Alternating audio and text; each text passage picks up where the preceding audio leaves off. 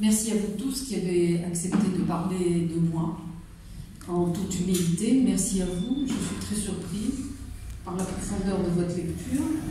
Euh, donc je n'ai pas travaillé pour rien. Et c'est très bien. Madame Loukilis est présente, a traduit la liaison en arabe. C'est une première. Je suppose qu'il va falloir et la publier et la faire voyager dans tout le monde arabe.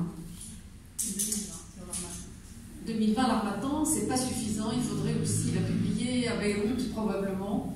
Probablement. Euh, peut-être euh, à Dubaï ou dans des pays comme ça, pour que justement ces pays qui ont euh, appris l'argent, comme Dubaï, c'est le, culte du veau d'or. Le veau d'or n'est plus dans la religion juive, il est devenu musulman, parce que Dubaï c'est l'argent, et on achète même l'art.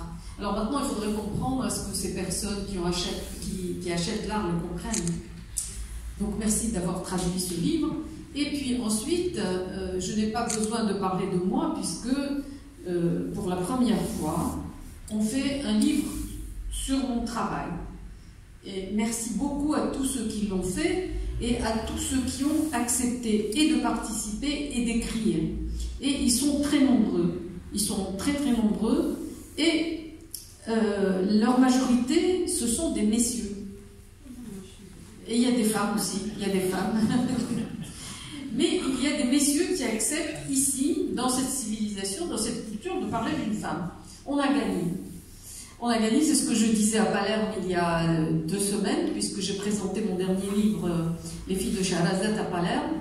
Le livre a été présenté par le, ce qu'on appelle El Sindaco, c'est-à-dire le maire de Palerme, par le président de la région Sicile, qui avait lu le livre, qui l'avait annoté, il était tout corné, et j'ai dit, mais j'ai même plus besoin de parler de féminisme, puisque voilà deux hommes, les, principaux personnages de, la Sicile tout entière, qui non seulement travaillent sur un livre de femmes, mais sur un livre de femmes arabes. Et euh, c'est très intéressant parce que si les hommes commencent à penser sur la pensée d'une femme, je ne serai plus totalement méconnue, d'une part, et d'autre part, je pense que les relais masculins sont beaucoup plus étendus, leur toile d'araignée est beaucoup plus étendue pour l'instant que celle des femmes, alors que souvent les femmes n'ont d'autre but que de détruire les copines. Eh oui. très très souvent, hélas. Donc, euh, c'est magnifique. Merci à vous. Ils ont fait un énorme travail, je le salue. Et cette photographie, c'est-à-dire moi regardant vers l'infini, euh, c'est une photo réalisée à Cordoue par un psychologue, photographe et poète, Raphaël Portal. Je tenais à le dire pour la paternité de, la photo. Donc, euh, méconnu, oui, parce que je ne suis pas lue, mais là, ça nous, fait, ça nous renvoie à un problème. C'est le problème de, des quantités de personnes comprenant le français dans notre pays. Moi, je suis par ailleurs éditrice et on s'est rendu compte que si on prend 40 millions de Marocains, on va faire large, 40 millions, il y a 10% de ces gens-là qui manipulent le français. Donc on est à 4 millions. Et sur les 4 millions, il y en a 10% qui lisent. Donc on est à 4000. Donc moi, j'ai aucune chance d'être lu. Je suis méconnue par absence de lecteurs. Et aujourd'hui, dans notre pays, j'attire votre attention, la lecture et le livre sont sinistrés. C'est dramatique. Le livre ne circule pas, ne se vend pas, ne s'offre pas. On n'offre pas un livre. On va offrir des gâteaux, on va offrir un bijou, on n'offre pas de livres. Il y a des maisons vides de livres. Eh ben, et dans ces conditions, on ne va pas avancer non seulement euh, en français, mais en arabe probablement, alors qu'on est noyé par la littérature qui vient du Moyen-Orient, qui est une littérature à la petite semaine. On est noyé de textes religieux, alors que la religion devrait être une chose entre soi et soi-même et Dieu. On est noyé par euh, Internet, donc les gens sont passés de l'analphabétisme à l'Internet. Et là-dedans, euh, le livre, la lecture sont sinistrés, et moi là-dedans, qui suis euh, un grain de sable dans tout ça, eh bien, je suis méconnue parce que je ne suis pas lue. Maintenant, euh, Seltman parlait tout à l'heure de la langue française, et la langue française, euh, c'est un, je l'appelle moi un tribut de guerre. C'est un tribut de guerre. Nous l'avons acquis, chèrement payé.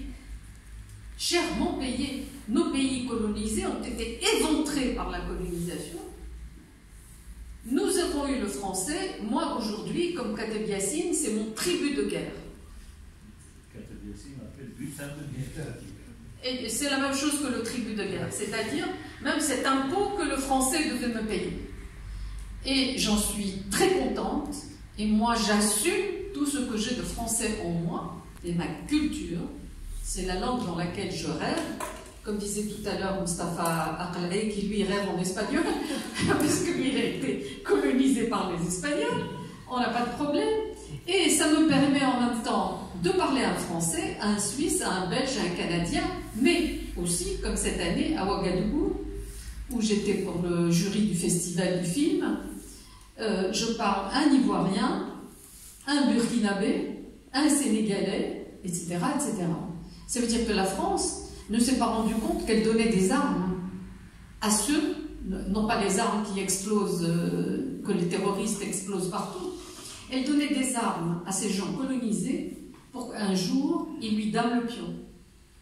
D'où mes relations extrêmement conflictuelles avec le, panel intellectuel français, qui ne reconnaît d'écrivains français que les Arabes qui vivent là-bas, sur leur terre, et qui ne nous euh, reconnaissent pas quand on écrit ici, comme quand les gens partent avec des examens médicaux en France pour se faire soigner, ils leur jettent tout de suite les radiographies à la poubelle en disant ça vaut rien.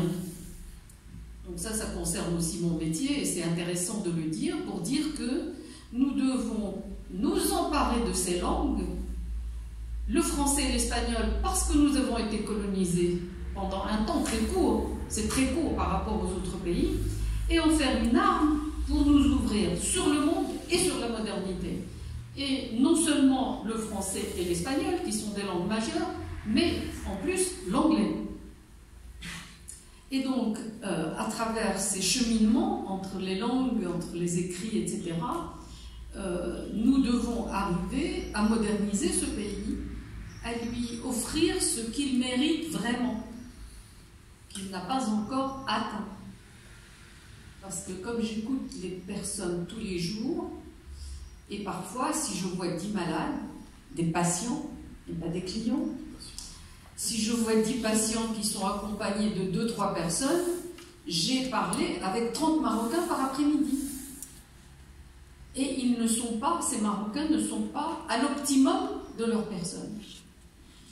Certains sont dans l'échec comportemental, mais ceux qui cherchent à aller mieux ne vont pas bien. Ils cherchent à aller mieux. Et aller mieux, c'est une société qui va devenir, qui doit devenir plus harmonieuse qui doit devenir euh, égalitaire entre ses membres, qui doit permettre à toutes les classes, dans ce sens et dans ce sens, de se parler. Non seulement de se parler, mais de se lire. Et donc, dans, cette espèce de tache d'huile énorme, les choses vont voyager entre les individus et les êtres humains. C'est mon message humaniste, sur lequel je vais terminer parce que les questions sont plus intéressantes que ce que nous avons dit. Euh, c'est mon message humaniste je crois euh, passionnellement à la modernité. Je crois que la tradition a beaucoup de très belles choses, mais la tradition est aussi une manière de vivre dans le passé. Et aujourd'hui, avec la globalisation, on ne peut plus vivre dans le passé. Ou alors on ferme les téléphones, on enlève les voitures, on ferme les avions et on vit comme avant. Et c'est peut-être bien, mais c'est plus possible. Donc, euh, dans cette modernité, il y a une très grosse partie euh, à cultiver dans ce pays, que, qui est la littérature, les arts, la science, la science qui est quasi euh, inexistante au niveau de la recherche, de la vraie recherche, je veux dire de la recherche à l'échelle mondiale. Et donc, dans tout cela, euh, lire et faire lire et apprendre à lire est aujourd'hui essentiel. Et beaucoup de personnes, à part moi, euh, qui sont méconnues à ce moment-là, deviendrait reconnu enfin pour le bien de tout le monde et je vous remercie.